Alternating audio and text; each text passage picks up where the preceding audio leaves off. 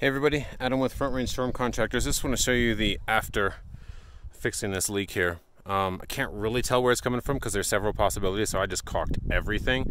Because this is two hours away from my house, and the last 20 minutes was completely dirt road.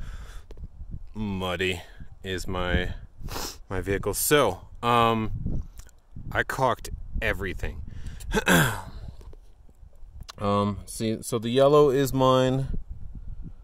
Um, a couple of nail holes, or old screw holes, I guess I should say.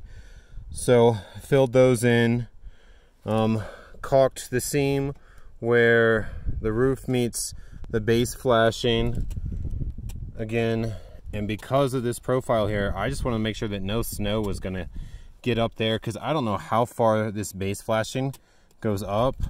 As you can see, it doesn't go that wide. So I just want to make sure nothing got up underneath there. And then I also caulked where the base flashing, it's all supposed to be one piece, but you know, I can't really tell because there's old caulk here.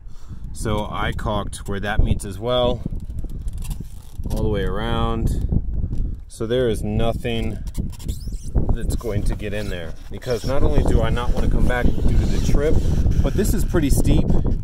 And if anybody's ever been on a metal roof, it's super slippery. So look, I have to hold on to this thing with one hand while I do it. And then most of the time, those screws right there, not exactly right now, but I'm using those screws for grip. So I don't really want to climb back up on this roof again either. Um, I will, because that's my job. But uh, I'd rather do things right the first time. All right, everybody, have a good day.